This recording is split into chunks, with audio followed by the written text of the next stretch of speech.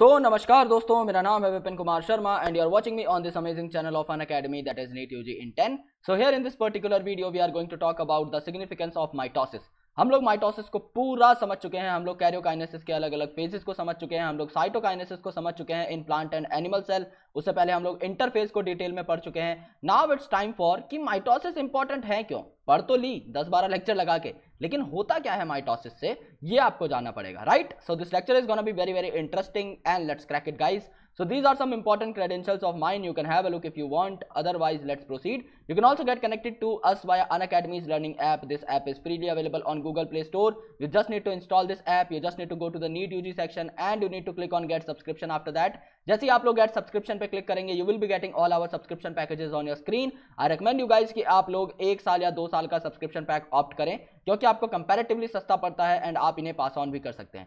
समझ लीजिए, आपने एक महीने का एक पैक लिया, विपिन नाम का कोड अप्लाई किया टेन परसेंट आपको डिस्काउंट मिला तो अभी आपको पाँच हज़ार चार सौ रुपए पर मंथ पे करने पड़ेंगे. लेकिन इसी के कॉन्ट्रास्ट में अगर आप दो साल का एक पैक लेते हैं और विपिन नाम का कोड अप्लाई करते हैं तो आपको सिर्फ़ तेरह सौ पचास पर मंथ पे करने पड़ेंगे, यानी कि आपकी मंथली इफ़ेक्टिव कॉस्ट पाँच गुना तक कम हो जाती है। इसके साथ आपको एडिशनल गिफ्ट्स एंड पर्क्स भी मिल जाते हैं, अगर आप विपिन नाम का कोड अप्लाई करते हैं, एक या दो साल का सब्सक्रिप्शन लेते हैं एंड स्क्रीनशॉट मेरे सोशल मीडिया हैंडल पर भेज देते हैं। इससे क्या होगा सर इससे आपको मेरा एक साल का मेंटोरशिप पैक मिल जाएगा, इससे आपको मेरे सारे पीडीएफ नोट्स मिल जाएँगे in handwritten and in type format इससे आपको सारी की सारी असेंशियल पीपीटी मिल जाएँगी मेरी, आपको काफ़ी सारी डीपीपी शीट्स मिल जाएँगी, आपको मेरे क्वेश्चन बैंक्स मिल जाएँगे ई बुक्स मिल जाएँगी। सारी की सारी चीज़ें आप लोगों को यहाँ पर मिल जाएँगी which are going to be really effective for your preparation so please make sure आप लोग बड़ा पैक लें और विपिन नाम के कोड का इस्तेमाल करें। राइट चलिए। So significance of mitosis mitosis होता क्यों है? माइटोसिस यानी कि इक्वेशनल डिवीज़न इक्वेशनल डिवीज़न इसे क्यों बोला? क्योंकि समझ लीजिए एक सेल है ये आपका डिप्लॉयड है तो यहाँ पर जो आपके दो डॉटर सेल्स बनेंगे दोनों के दोनों आपके डिप्लॉयड ही होंगे नेचर में। That's why it is called as equational division क्योंकि जैसा पेरेंट सेल है वैसे के वैसे आपके डॉटर सेल्स यहाँ पर देखने को मिलेंगे सेम प्लॉयडी लेवल के। सो so, ये जो आपका माइटोसिस है ये यूजुअली डिप्लॉयड सेल्स के अंदर ही होता है ओके okay? बट यहाँ पर आपको काफ़ी जगह पर काफ़ी लोअर प्लांट्स में जैसे कि अगर आप बात करें एल्गी की या फिर अगर आप बात करें ब्रायोफाइट की तो इनकी तो बॉडी ही हैप्लॉन्टिक होती है। तो ज़ाहिर सी बात है इनमें जो हैप्लॉन्टिक फ़ेज़ है वो कौन लेकर आएगा?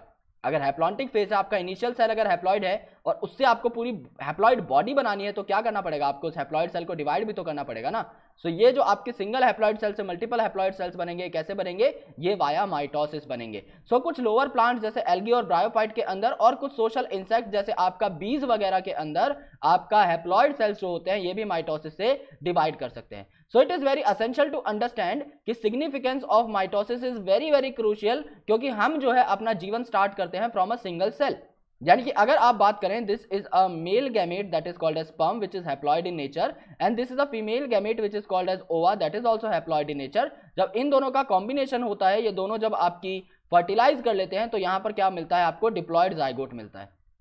So this is a single cell diploid zygote लेकिन अगर आप ह्यूमन बॉडी को कंसिडर करें तो we are having trillions of cells in our body which are diploid so how does this single cell get itself converted into trillions of cell obviously the mitosis okay mitosis में आपका एक cell से आपका दो cell बनेंगे, दो cell से चार सेल बनेंगे, चार से आठ आठ से सोलह सोलह से बत्तीस बत्तीस से चौसठ एंड सो ऑन यानी जितना बड़ा आपका इनिशियल नंबर होगा, उतना ही बड़ा आपका फाइनल नंबर भी हो जाएगा। यानी अगर आपका इनिशियल नंबर छोटा है एक तो सिर्फ़ एक सेल की बढ़ोतरी हुई। आपका अगर इनिशियल नंबर है आठ तो आठ सेल की बढ़ोतरी हो गई। सिमिलरली अगर आपका इनिशियल नंबर होगा एक करोड़, और एक करोड़ सेल आपके साथ साथ डिवाइड करेंगे तो ऑटोमेटिकली आपके एक करोड़ सेल ही बढ़ेंगे पूल के अंदर, और आपके दो करोड़ सेल बन जाएँगे in the same time of one division समझ लीजिए, एक सेल को डिवाइड करने में दस मिनट लगती हैं। समझ लो फॉर एन इंस्टेंस या एक घंटा लगता है। तो एक घंटे के अंदर एक सेल से दो बने।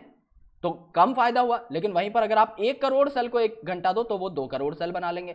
तो मतलब इनिशियल नंबर जो है यहाँ पर सब कुछ डिटरमाइन करता है।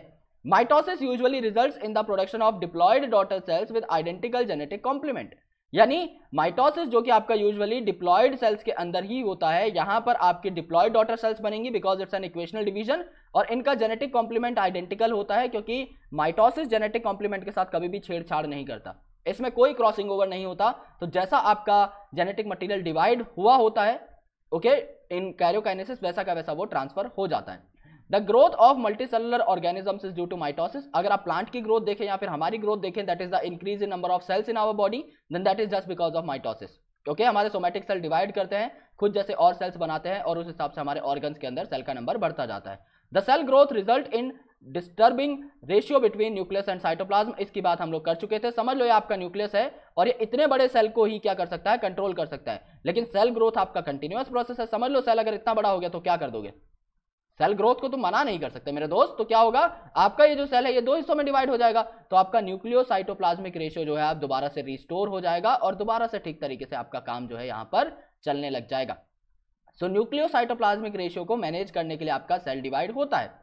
A very significant contribution of mitosis is cell repair हमारी बॉडी में कभी भी कोई अगर यू नो बेसिकली डिफॉर्मेलिटी आ जाती है या फिर अगर कोई डैमेज हो जाता है तो वहाँ पर आपका रिपेयर के लिए सेल जो है डिवाइड करना स्टार्ट करते हैं। जैसे आपकी अपर लेयर ऑफ़ एपिडर्मिस समझ लो भागते भागते तुम किसी को इंप्रेस करने के चक्कर में बाइक चला रहे थे, ध्यान दिया नहीं और आगे जाके खंबे पे खोपड़ी टकरा गई। तो अब क्या हुआ? खोपड़ी तो चटक जाएगी ना भाई? तो वहाँ पे क्या हुआ? आपकी एपिडर्मिस जो है वो आपको हेल्प करेगी टू हील समझ लो आपकी कोनी वोनी भी छिल गई। साथ में एज अ कॉम्प्लीमेंट्री गिफ्ट तो उसके ऊपर जो है आपका यू नो ब्लड क्लॉटिंग होने लग जाएगी। तो ब्लड क्लॉटिंग के लिए जो रिस्पॉन्सिबल आपके सेल्स है, वो भी तो वहाँ पर आ रहे हैं ना प्लेटलेट वगैरह, और उसके ऊपर जो है आपका यू नो हार्ड कोट बनने लगा है। So that is just because of the you know epidermis cell that is going to heal your wound that is going to heal the you know damage that occurred to your body जो lining of gut है, आपके alimentary canal की lining H की वजह से बहुत ज़्यादा एक्सकोरिएट हो जाती है तो उस लाइनिंग ऑफ़ गट को भी हर हफ़्ते में एक या दो बार रिपेयर करना बहुत ज़रूरी रहता है। ब्लड सेल का जब आप देखते हैं, लाइफ स्पेन जैसे आरबीसी का 120 डेज़ के अराउंड रहता है। सो, इनका भी टाइम टू टाइम बनना बहुत ज़रूरी है, अदरवाइज़ तो आरबीसी की कमी हो जाएगी बॉडी के अंदर। सो, ये भी आपके कॉन्स्टेंटली बनते रहते हैं और पुराने डेड सेल्स को रिप्लेस करते रहते हैं। अगर आप प्लांट की बात करें तो मेरिस्टमेटिक टिश्यू आपके प्रेजेंट रहते हैं। मेरिस्टमेटिक टिश्यू मतलब वो टिश्यू जो आपके डिवाइड करने की कैपेबिलिटी या पोटेंशियल रखते हैं। तो आपका एपिकल मेरिस्टम जो है और लेटरल कैम्बियम जो है, ये बहुत इंपॉर्टेंट रहते हैं। एपिकल कहाँ प्रेजेंट रहता है? आपका शूट एपिकल मेरिस्टम जो कि आपके शूट को गिवराइज करेगा और रूट एपिकल मेरिस्टम जो कि रूट के सेल्स को गिवराइज करेगा। और लेटरल कैम्बियम जो कि लेटरली आपकी प्लांट की ग्रोथ को बढ़ाएगा, यानी जो आपकी सेकेंडरी ग्रोथ कराएगा, जो कि आपके प्लांट के तने को मोटा बनाएगा। सो ये भी आपके कंटिन्यूस ग्रोथ का ही परिणाम है जो कि प्लांट में थ्रू आउट इट्स लाइफ होता रहता है। प्लांट में ग्रोथ कभी रुकती नहीं है। Okay okay? सो so, ये सारी इंपॉर्टेंट चीज़ें थी जो कि आपके माइटोसिस की वजह से होती हैं and I hope you got it very well अगले लेक्चर से हमें पढ़ना है meiosis which is reductional division अभी तक तो हमने देख लिया कि हाँ भाई बराबरी की सरकार है।